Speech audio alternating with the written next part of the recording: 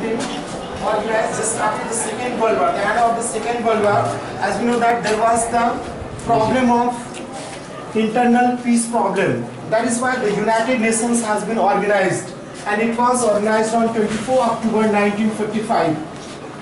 The six major organs of United Nations are as follows General Assembly, Secretary Council, Economic and Social Council, Justice Council, International Court of Justice and Secretariat.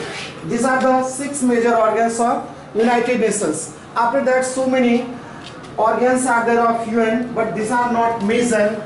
This, the, the name of this one is World Bank, WHO, which is known as World Health Organizations, WTO, World Trade Organizations, FAO, Food and Agricultural Organization, ILO, International Labour Organization, UNICEF, United Nations International Children Emergency Fund. Once again, I am going to tell you about the UNICEF, United Nations International Children Emergency Fund, and UNESCO, United Nations Educational, Scientific and Cultural Organizations.